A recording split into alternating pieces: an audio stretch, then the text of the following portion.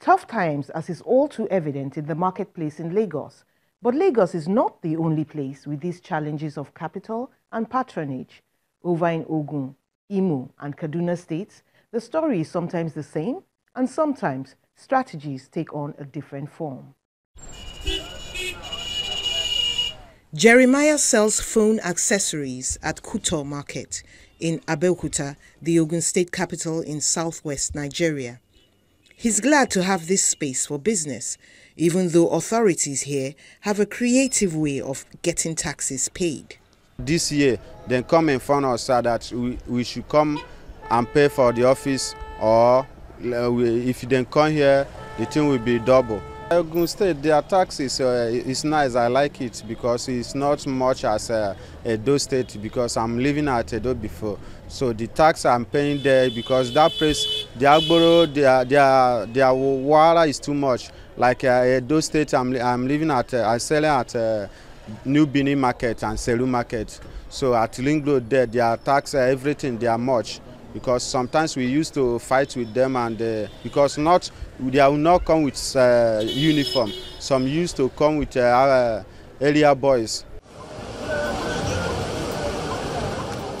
Tetlow in Owerri, the capital of Imo State in southeast Nigeria, is known for its dense population of small businesses.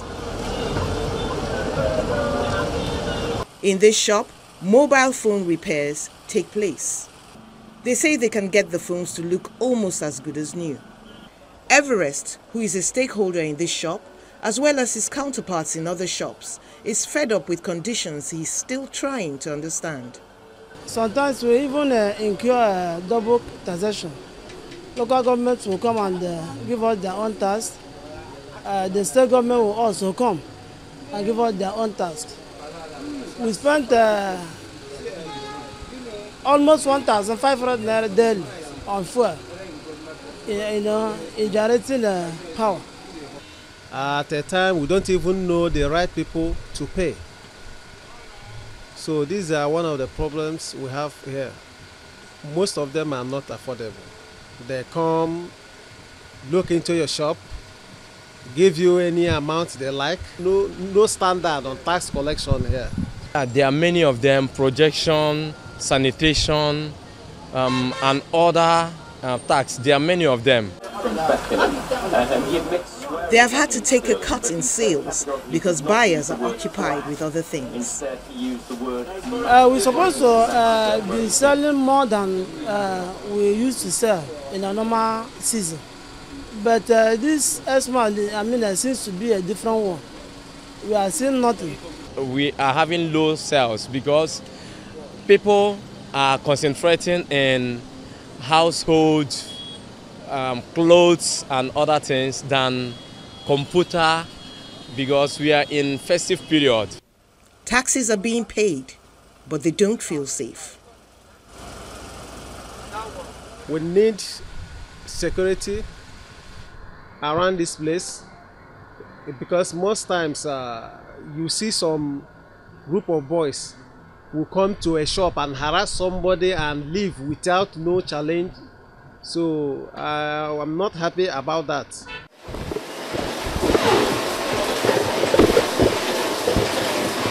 In Kaduna, the Kaduna state capital, northwest Nigeria, Abiola owns a not so small printing business.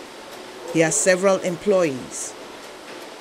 Abiola is of the opinion that his taxes are not inflated and praises the state government for cutting out bogus taxation. His only grouse is that he has to pay separate taxes for his other outlets. I think it's still fair presently. Before we used to have different people that will come and tell you you must pay for this. In fact, if you want to place your generator outside, some people come and tell you, you must pay for placement of generator. But presently, that is not happening again. Based on the taxes we are paying, I think it's still fair. It's still fair. It's not too difficult on us. Mm, I only do my national tax clear, clearance.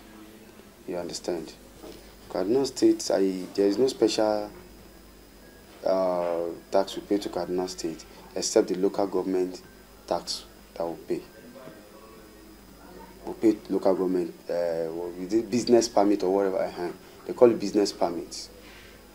So they, it's going to be charged based on the size of your business and the, like me, we here we have about three to four locations. So we pay for each of these locations. So the only that is the only way I have challenge with them. He wonders though how proprietors of smaller businesses make ends meet. If you see any small businessman or any small organization coping and surviving with the trend of things as it is in Nigeria now, they are struggling to survive. A lot of challenges are facing SMEs. One, capital. According to the Financial System Strategy 2020, MSMEs suffer huge gaps in infrastructure, poor financial support and credit environment, high levels of unskilled workforce, and low investment commitment to bring pilot plants to commercial scale.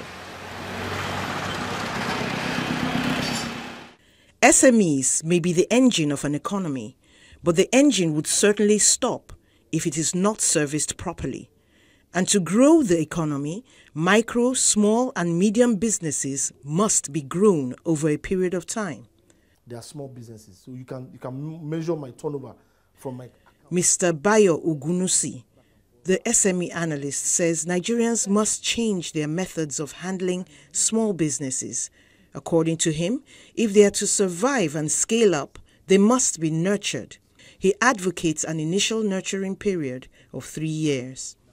The only way the SMEs or the SME in a, in a country can grow is if there is movement from this micro to the small, like a graduation sort of uh, from the small to the to the medium and from the medium to the enterprise. If if I'm a small business and I have issues, financial challenges, and you give me money, I will not use the money to solve my financial challenges in the business. I will solve my personal financial challenges first. So I have rent to pay, and you invest and you give me 10 million. I'll pay my rent, pay my children's school fees. I'll sort out my issues before facing the business. So what, what you see is that that growth is stunted again. Nobody starts a business uh, and waits for two, three years before I start making money. No, nobody does that. You go to meet your uncle, I want to start a business. He's like, so how much are you going to make? Say, uncle, um, by 2023 or 2022, I will bring dividend. Will, just, he won't, call, he won't pick your call again. We don't have that patience. Because of that nature, Nigeria has been boxed into short-term thinking that anything I do, don't let it be more than four years. And what would one survive on in the three-year waiting period, one might ask? Experts assure us that this incubation period is perhaps one of the most trying yet most crucial times to understand the character and dynamics of the business. A time to follow a carefully made business plan where the numbers have been analyzed. Numbers which include capital, expenses, and taxes. He has an example from one of his experiences. I was talking to one guy, he's a barber. I gave him like 20 businesses he could do with 100,000. He was like, ah, he didn't know this. I told him, what account do you use for this business? He said his account. I said, no, go and open, go and open a business account. Let the money from this business be going to that account. Say, ah, Oga, Egmon, how would I, how would I eat? I said, very easy. You sell, you say he does about 80k every week. I remember 80k every week from barbing salon. So in a month you do about three, eight times four, 320k. How much do you spend a month? Say, ah, I know they spend past 50k. Maybe make I just buy recharge card buy this buy that. Say no problem. Pay yourself that 50 50 k salary. Go and buy the next set of clippers and keep them. Next month you make another 200 k. Go and deposit for another shop. That's growth. So instead of you seeing that 250 k ah money has come.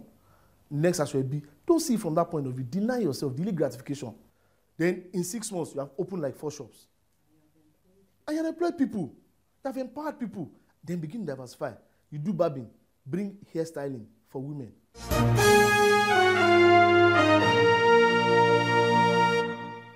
It seems starting might be easy, but sustaining the business is where the work is. That's all on Big Story. Thanks for watching. I am Mary Alale Yusuf.